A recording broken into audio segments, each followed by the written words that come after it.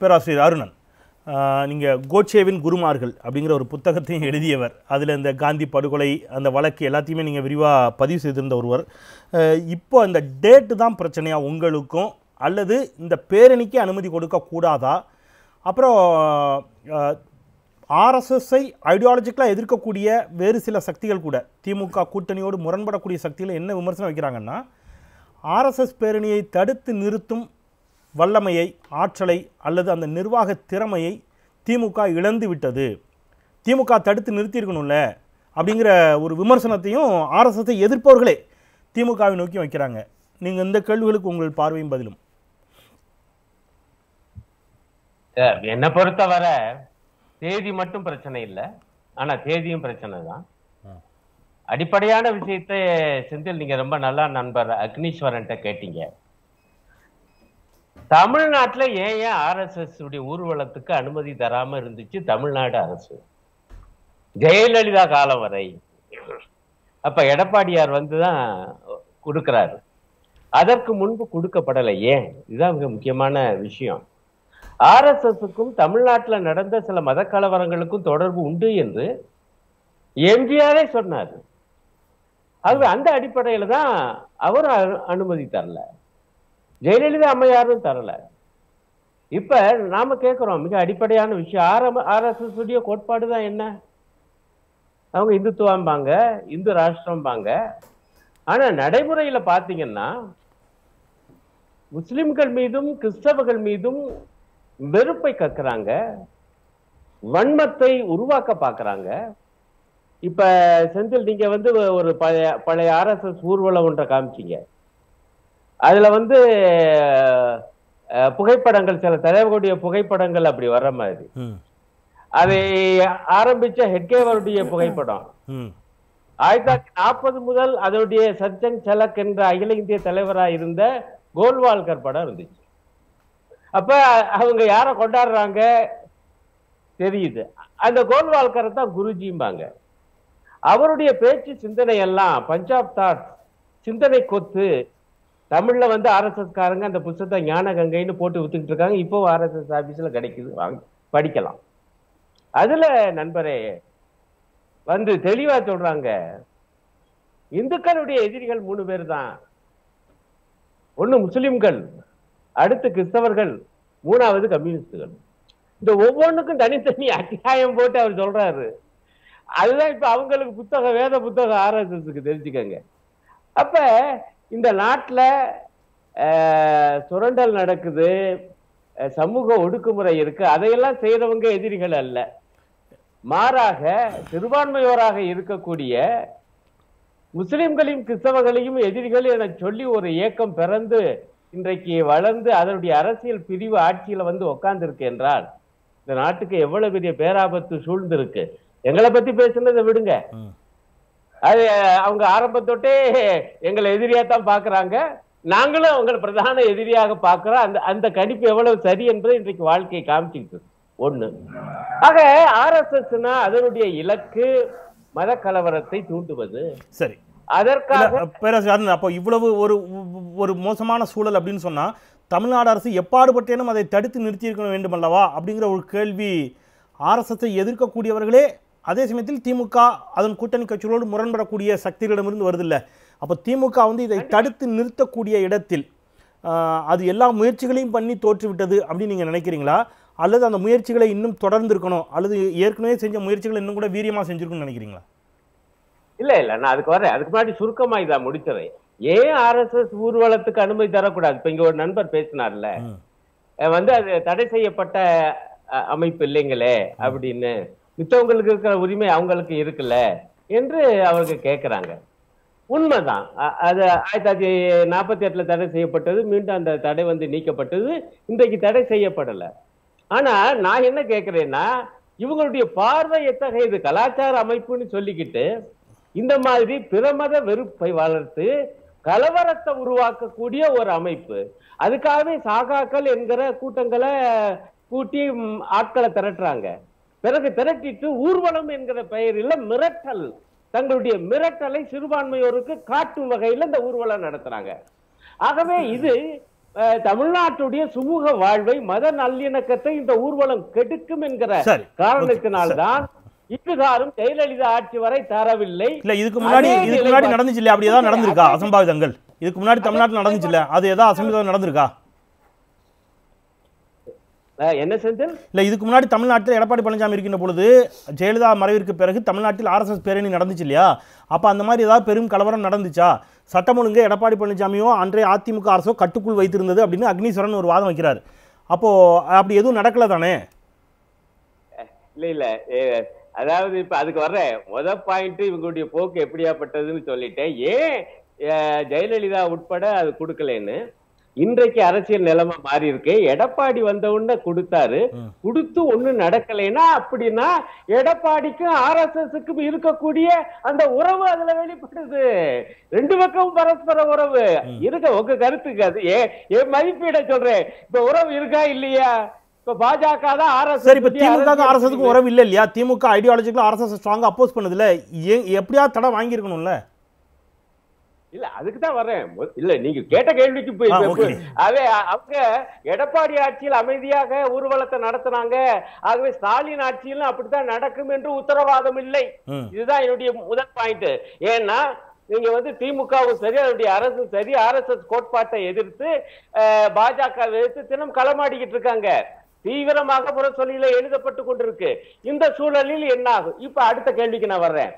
இப்ப இதெல்லாம் திமுக அரசுக்கு தெரியும். என்னுடைய கவலை என்னுடைய வருத்தம் என்னன்னா இந்த நீதிமன்றம் இப்படி ஒரு உத்தரவு தரக்கூடிய ஒரு சூழல் எப்படி உருவாச்சு? அப்ப சரியான முறையில வாதாடலையா? ம். ஆர்எஸ்எஸ்னால வரக்கூடிய இந்த அபாயம் குறித்து எடுத்து சொல்லலையா? உதாரணமாக இத சொன்னாங்களா இல்லையான்னு தெரியல செந்தில். இப்ப ஆகஸ்ட் ஆகஸ்ட் மாசம் இருபத்தி ஒன்பதாம் தேதி மகாராஷ்டிராவுல ஆர்எஸ்எஸ்ல தீவிரமாக பணியாற்றிய ஒருவர் ஒரு பிரமாண பத்திரம் தாக்கல் சிண்டே அதுல ஆமா அவர் பேரு யஷ்வந்த் ஷிண்டே. அவர் அதுல சொல்றாரு எங்களுக்கு வந்து வெடிகுண்டு பயிற்சி கொடுத்தாங்க. எப்ப வாஜ்பாய் காலத்துல. அதை நாங்க பயன்படுத்தணும். எதற்கு ரெண்டாயிரத்தி பதினாலுல. பாஜக ஆட்சிக்கு வர? ரெண்டாயிரத்தி எட்டுல நடந்த மாலேகான் குண்டு வெடிப்பு உட்பட என்னோட இந்த வெடிகுண்டு பயிற்சி பெற்றவங்க எல்லாம் அதுல பங்கு கொண்டாங்க. இதுல முக்கியமான தலைவர் யாருன்னு ஒருத்தர் பேரை சொல்றாரு. இவ்வளவு ஏன் மறுக்க மாட்டேங்கிறாங்க? அந்த பத்திரிகை டெலகிராப் பத்திரிகையும் ஸ்க்ரால் பத்திரிகை இந்த செய்தியை போட்டுட்டு என்ன சொல்லுதுன்னா அந்த ஆர்எஸ்எஸ் தலைவருக்கு போன் பண்ணாங்களாம். எனக்கு உங்களை பத்தி உங்க கூட இருந்தவர் வந்து இப்படி நீதிமன்றத்துல பிரமாண பத்திரம் தாக்கல் பண்ணிருக்கான்னு பதிலே சொல்லலையா? போனே எடுக்க மாட்டேங்கிறாரா? அல்லது போன் எடுத்தா வச்சிடறாராம். அப்ப இந்த விஷயத்தை எல்லாம். நீதிமன்றத்துக்கு சொன்னிச்சோ நம்முடைய தமிழ்நாடு அரசு இல்ல பிடிச்சிடுறேன். இல்ல பிடிச்சிடுறேன். தெரியல. அப்படி என்றால் என்னமோ ஒரு சரியான முறையில வழக்க நடத்தல. அதனால தானே இப்படி வந்து உத்தரவு வந்திருக்கு. இந்த உத்தரவை வந்து நாங்கள் ஏற்கவில்லை என்கிற முறையில எந்த அடிப்படையில சீராய்வு மனு போட முடியுமா? அல்லது அதன் மேல அப்பீல் பண்ண முடியுமா? இல்ல நம்முடைய அக்னீஸ்வரன் என்னை பார்த்து ஒரு கேள்வி கேட்டாரு. ஐயா அரசு தருகிற உத்தரவாதத்தை எல்லாம் நம்ப முடியாதுன்னு நான் சொன்னேன். எதை வச்சு சொல்றாரு அருணன்? அப்படின்னு அவர் கேக்குறாரு. அவரை நான் அதிமுக ஆதரவாளர் தான் நினைச்சேன். இப்ப ஆர்எஸ்எஸ் ஆதரவாளராக இருக்கிறது இப்பதான் தெரியுது இந்த வார்த்தை வன்மையா கண்டிக்கத்தக்கது. நான் ஒரு காலத்திலையும் அதிமுகவை மட்டுமே ஆதரிக்கக்கூடிய அக்னீஸ்வரன். சார் கேள்வி அர்த்தம் இப்ப நான் அவருக்கு ஒரு உதாரணத்தை நினைவுபடுத்துறேன். இவங்க உத்தரவாதத்தை ஏன் நம்ப முடியாதுன்னு அவருக்கு தெரியும். அதனாலதான் இப்படி கேட்கும்போது நமக்கு ரொம்ப வருத்தமா இருக்கு. ஏங்க போய் நீதிமன்றத்துல ஆயிரத்தி தொள்ளாயிரத்தி தொண்ணூத்தி ரெண்டுல நாங்க பாபர் மசூதியை நோக்கி பேரணி போறது உண்மைதான். ஆனா அந்த கட்டடத்தை தொட மாட்டோம். நாங்க ஒரு டோக்கனா வந்து அதுக்கு முன்பு ஆர்ப்பாட்டம் நடத்திட்டு கலைஞ்சு பஜனை பஜனை பஜனை பஜனை இசை பாடல்கள் பாட போகிறோம் அப்படின்னு தான் சொன்னாங்க. எஸ் ஆர்ப்பாட்டம் கூட இல்ல. பஜனை பாடல்கள் பாடுவோம் அப்படின்னாங்க. பஜனை பாடிட்டு வந்துட்டோம்னு சொல்லி உத்தரவாதம் கொடுத்துவிட்டு கடைசியாக அதை உடைச்சு தரமட்டமாக்குனது அக்னீஸ்வரனுக்கு மறந்து போச்சா? எதை வச்சு கேட்கிறாரு ஆர்எஸ்எஸ் உத்தரவாதத்தை நம்ப கூடாது இதனுடைய பார்வை என்ன? அதே இதுதான் ரொம்ப வேதனையா இருக்குது. அதான் அதிமுக அதிமுக ஆதரவாளர்களே இந்த பக்கம் போக போறாங்களோ விடுங்க. இப்ப நான் மிக அதை விட அடிப்படையான ஒரு வேதனையான ஒரு விஷயம் பாருங்க. செந்தில் இந்த வாதத்துல நீங்க வந்து ஆர்எஸ்எஸ் உடைய பேரணியையும் விசிகா நடத்த இருக்கிற அந்த சமூக நல்லிணக்க பேரணி இது எல்லாத்தையும் எப்படி ஒண்ணா பாக்குறீங்க? அக்டோபர் ரெண்டு காந்தி ஜெயந்தி. அது அவருடைய பிறந்த நாள். காந்தி எதற்காக இருந்தார்? ஆயிரத்தி தொள்ளாயிரத்தி முப்பதுகள்ல தீண்டாமை எதிர்த்து அவர் பாணியில களம் கண்டு சமூக நீதி போராளியாக அவர் இருந்தார்.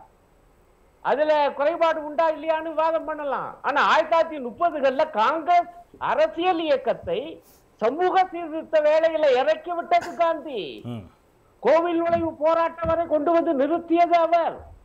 அப்ப அது வந்து சமூக நல்லிணக்கம் இல்ல இல்லையா அவரே கொண்டு வந்து விட்டாங்க. ஏன்னா இன்னைக்கு பூனா ஒப்பந்தம் குறித்து நம்ம நினைவுபடுத்த வேண்டியிருக்கு பேராசிரியர் காந்தியே கொண்டு வந்து அங்க விட்டாங்க அப்படிங்கிற அது நீங்க சொன்ன மாதிரி நானும் உங்க வாதத்தை உடன்படுறேன். அது இன்னொரு பெரிய வாதம். ஓகே. அதுதான் நான் ஒத்துக்கிறேனே. நான் சொல்லும் போதே. அது குவாலிஃபை பண்ணி தான் சொல்றேன். ஆனா அதுக்காக ஆயிரத்தி தொள்ளாயிரத்தி முப்பதுகள்ல வேற யாருங்க அந்த காரியத்தை செஞ்சா? மதுரை கோயில் ஆயிரத்தி தொள்ளாயிரத்தி முப்பத்தி ஒன்பதுல நுழைவு போராட்டம் வெற்றிகரமா நடந்துச்சுன்னா அதுக்கு யாருங்க மூல காரணம்? அந்த உண்மையும் நம்ம மறந்துடக்கூடாது இல்லைங்க அடுத்து மிக முக்கியமான செய்தி அவர் வந்து இந்து முஸ்லிம் ஒற்றுமைக்காக நின்றார். மத நல்லிணக்கத்துக்காக நின்றார். அதுவும் சமூக நல்லிணக்கம் தான் ஆகவே அவருடைய பிறந்த நாளில் சமூக நல்லிணக்க பேரணி என்று எழுச்சி தமிழர் அறிவித்திருப்பது மிகச் சரியானது. ம். அதையும் அந்த ரெண்டாம் தேதி காந்தி பேரை கூட உச்சரிக்காம நல்ல பிள்ளை மாதிரி அம்பேத்கர் பேரையும் விஜயதசமியும் குறிப்பிட்டு இந்த மாதிரி கலவர கோஷ்டி ஆர்எஸ்எஸ் அனுமதி கோருவது என்பது என்ன நியாயம்? இன்னும் சொல்றேன் அம்பேத்கர் பேரை சொல்ல ஆர்எஸ்எஸ்க்கு என்ன யோக்கியதை இருக்கிறது?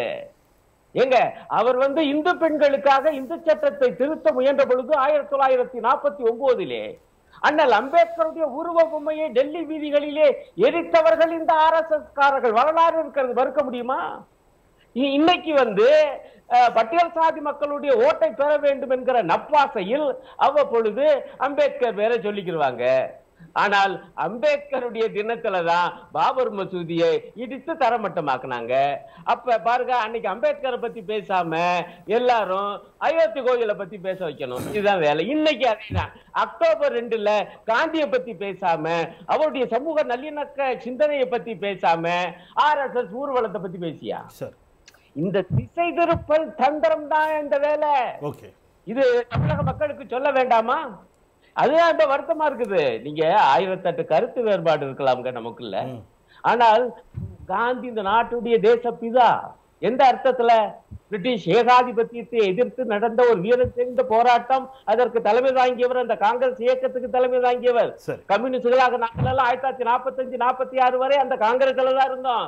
காந்தி தலைமையின் கீழ் தான் இருந்தோம். ஆனா சுதந்திர போராட்டத்தில் பங்கு பெறாத ஒரே அமைப்பு ஆர்எஸ்எஸ் பங்கு பெற மாட்டோம் என்று கொள்கை முடிவு எடுத்திருந்த அமைப்பு ஆர்எஸ்எஸ் காரணம் வெள்ளக்காரன் அல்ல எதிரி. முஸ்லிம்களும் கிறிஸ்தவர்களும் தான் எதிரி என்று பார்வை உள்ளவங்க அவங்க. இன்னைக்கு. வரைக்கும் தொடருது. உங்களுக்கு என்ன பத்தி பேசுவதற்கு என்ன அருகதை சரி இருக்கு? அருணன் நான் அது வரைக்கும் உங்க கருத்தை எடுத்துக்கிறேன். எங்க தீண்டாமையை எதிர்த்து அது ஒழியணும் சாதி ஒழியணும் என்று எவ்வளவு. தூரம் போராடினார் அம்பேத்கர். சாதி ஒழிய வேண்டும் என்று சொல்ல தயார் ஆர்எஸ்எஸ்? சரி, சாமியார்கள் மாநாட்டு நடத்துறாங்கல்ல. ஒரு சாமியார் மாநாட்டில் தீர்மானம் போட சொல்லுங்க. நிறைய நிறைய பாறையா எடுத்துக்கிறேன். இல்ல ஒண்ணும் இல்ல இப்ப கூட்டணியே கடைசியில் இந்த ஒத்த விஷயத்துலதான் நிக்குதியா? எப்படியாவது திமுக கூட்டணி உடச்சிடணும் என்ன அப்பா சரி கொள்கையில நீங்க கொள்கைகள். அடிப்படையில். இருப்பீங்களா okay okay. Okay thank you thank you ஆர்எஸ்எஸையும் பாஜகவையும் தமிழ்நாட்டில் கால் ஊன்ற விட மாட்டோம். இப்படிதான் சொன்னீங்க. நாலு சீட் சரி. ஜெயிச்சிட்டாங்க தேங்க்யூ சார். நல்லது. விக்ரம் இப்படிதான். தேங்க்யூ நாகராஜ் நன்றி. நீட்டா அதிமுக எதிர்க்குது பட் பாஜகவும் அதிமுக கூட்டணி இருக்கிறாங்க ஒரு வீட்டில் நிறைய பலிக்காது.